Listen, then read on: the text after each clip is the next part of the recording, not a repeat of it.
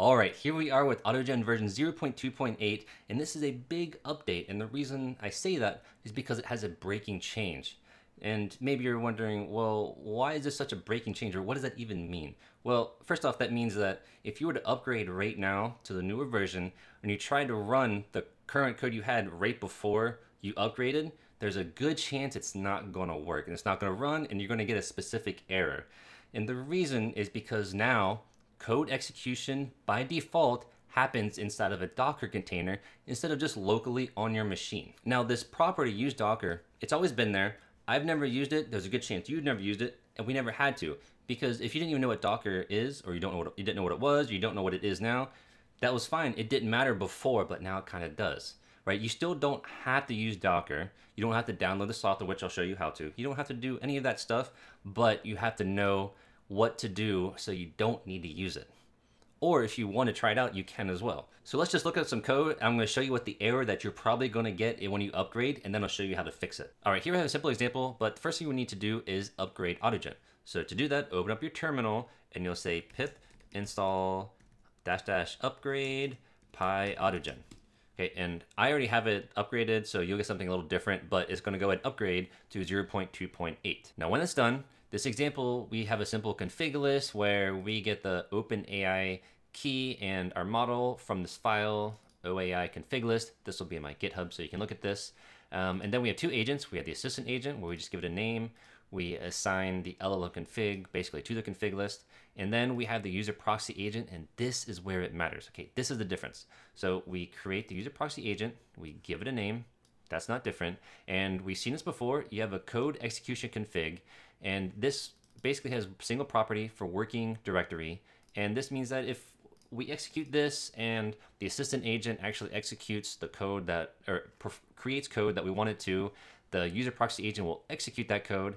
And if when we're done, it'll put it into a directory inside of our project called coding. Okay, so we just upgraded. Let's see what happens when we just run this. So you'll say python 3 main.py and run it. And look at this error. Make sure Docker is running. Set use Docker to false in code execution config. Okay, this is the error that you're probably gonna see when you try to run this the first time, okay? And this is the breaking change. This is what I mean that if you upgrade it and then you try to run something without changing anything else, it's not gonna work. Now, in order to make this work, say you don't wanna use Docker, all we do in the user proxy agent up here in the code execution config, this is the new property use Docker. It's not new, but we just never really used it that much.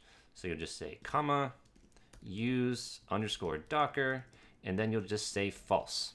Okay, that's all you gotta do if you don't want to use Docker. Now, if we rerun this, python 3 main.py, it should start working. And as you can see, it is. It's now actually going to execute because we told it not to try to run code inside of a Docker container.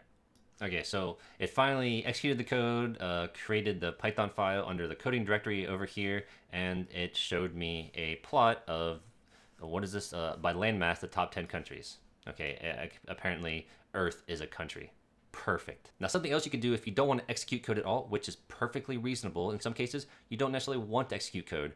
You can just delete this part and just set that to false.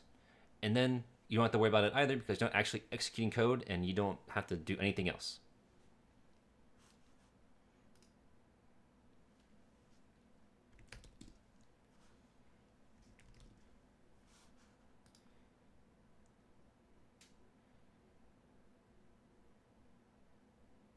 Now, what if we wanted to use Docker? Well, what we have to first do is go to the website to download the software and install it. Let's see how we do that. Okay, so now how do we get Docker? Well, Docker is a software that you have to download. So the first thing is, let's go to their website, and that is to docker.com. So if you come here, click on this uh, search page, then you just click download for Mac, okay? I already have it downloaded, so it's gonna download it for me.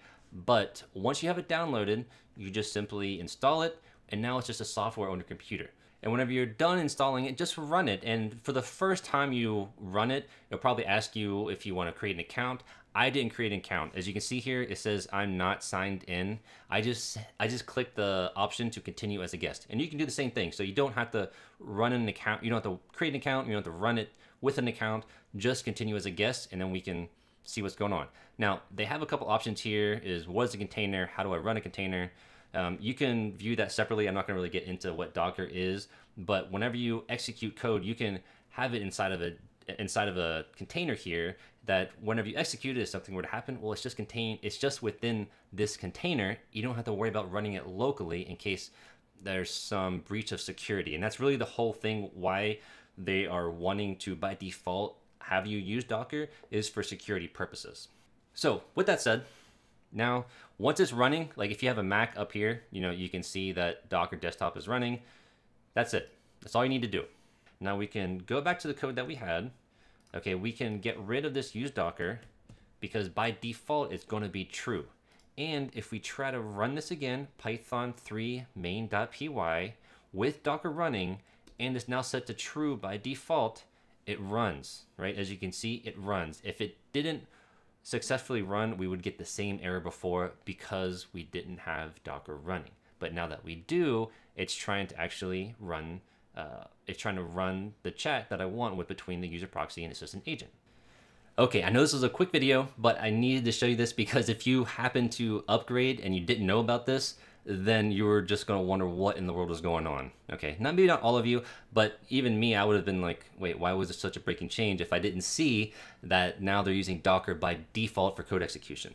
So if you don't want to care about Docker again, I just had a couple examples where you just set the property use Docker to false in the user proxy agent so that if you want to execute code, you just do it locally. You don't have to worry about doing it inside of a Docker container. If you have any more questions or if you have any comments, please post them below. Now, one more thing is I have to update all of my projects, okay? So by the weekend, they'll all be updated. So if you upgrade and then you try to run one of my projects on GitHub and it doesn't work, well, it's probably because I never really used it because it didn't really matter before, but now it does.